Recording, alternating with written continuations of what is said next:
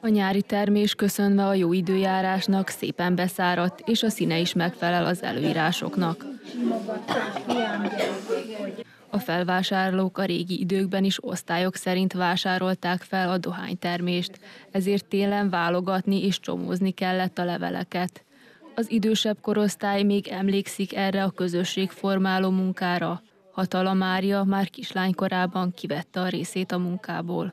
Jöttek szomszédok, egy hosszú, nagy asztal, mint itten ez az asztal, ilyen hosszú, be volt a szobába téve, és egyik szomszéd, másik szomszéd jöttek, 10-11 óráig is csomóztunk.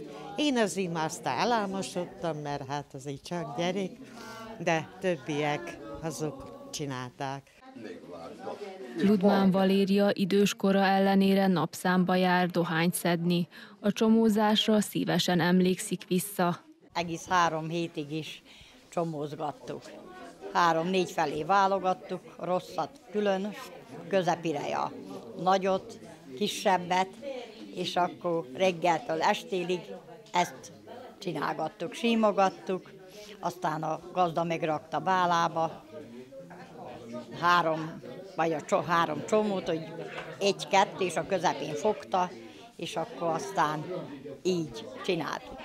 És a, a szivat nagyon tudni kellett szívni. A hagyományőrző napon Szőke Anna néprajzkutató elmondta, hogy a valamikori közösségi élet meghatározó része volt a téli esték közös munkája, míg más vidékeken a fonóba jártak a lányok és a menyecskék, addig itt dohánycsomózás hozta össze az embereket.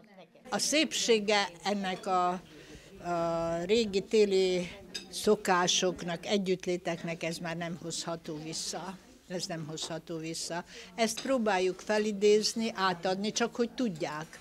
Csak a tudat miatt, hogy ez, ez is volt, ez a miénk volt.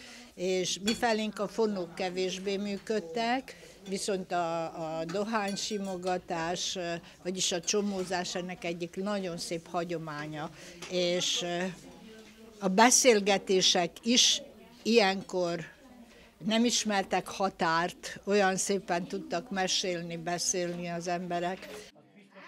A helyi maghagyományápoló egyesület azt a célt tűzte ki, hogy a vidékre jellemző valamikori tevékenységeket eleveníti fel és megőrzi az utókornak a fiatalok is meglássák, hogy régen, régen hogy, dolg, hogy dolgoztak, mit dolgoztak az emberek.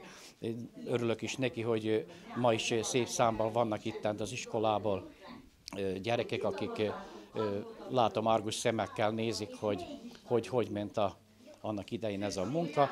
A hagyományőrző napon bemutatták azt is, hogy hogyan sodornak a férfiak a szakadt és apró levelekből szivart.